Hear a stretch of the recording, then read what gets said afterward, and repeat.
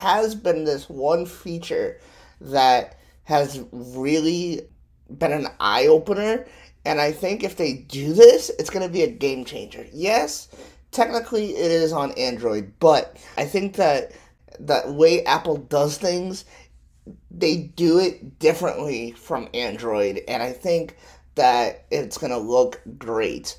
Um, and I'm talking about like a smart display. So, you know how sometimes you can set your phone to have a certain display depending on the orientation of the phone. So, like if you had it in what's it called, uh, landscape, and there's a screen that pops up that you know displays the time and different uh, notifications or even applications that you can use in that certain mode. And that's what Apple is planning to do with iOS 17. Now, if this is going to be a setting or something that you're going to have to turn on when you want it, I'm not sure.